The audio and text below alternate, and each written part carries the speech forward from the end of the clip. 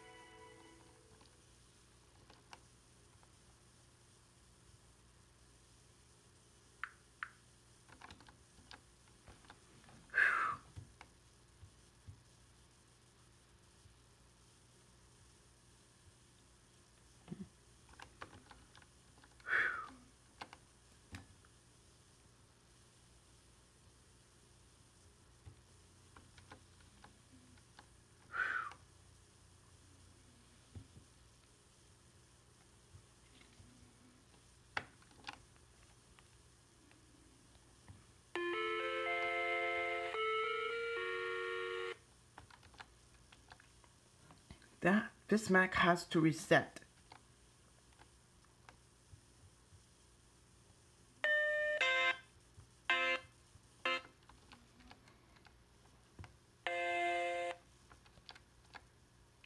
Welcome to Mac.